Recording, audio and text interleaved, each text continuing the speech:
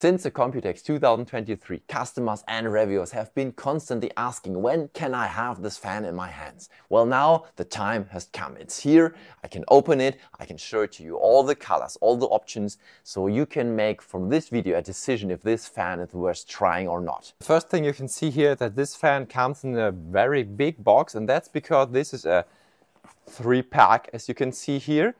And if we open it, we have in the inside three fans.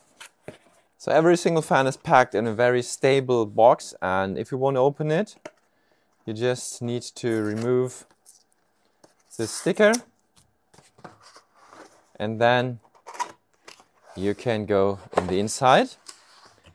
Okay, what do we have here? Uh, the manual and here is the white one.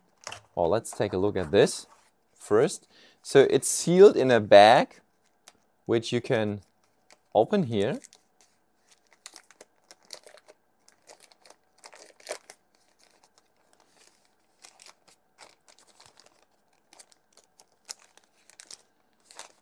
And here we go. This is a fan. Then you have the accessory box. And in this box, let's see what we have here. Well, this is a cable Then you have all kind of screws. And what is this? Ah. This is the first time I see this in a fan. So we definitely need to take a look at this one also. This fan comes with three different screw packs, so we're ready for any option that you need. We have the M3 screws, UNC screws, and M4 screws, plus the stealth mounting nuts, which you will need to mount your fan in a computer case.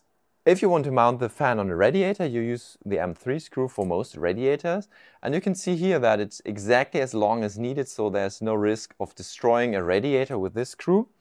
This fan comes with a connection option, so you have two plugs here, so you can put the fans in a line and have more fans running at the same time with one cable that you just put in the first fan.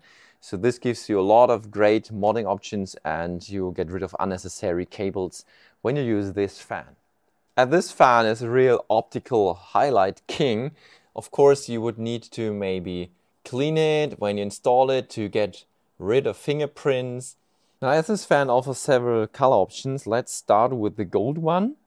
And as you can see here, this one really reflects everything. So you will need to clean this again and again, like to have this shiny look because every fingerprint on it, like if I just touch it here, then you can clean it again.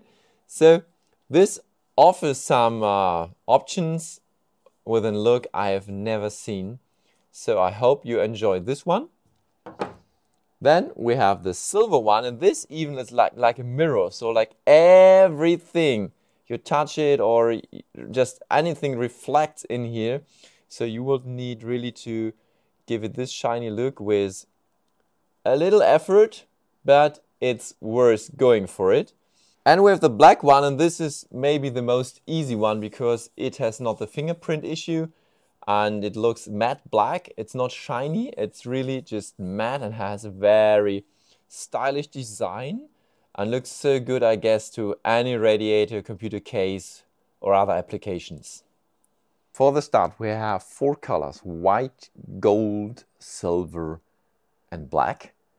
And with two different RPM speeds, we have 2000 and 3000. So this fan offers for any desires regarding the look and the power all options that you will need for the start.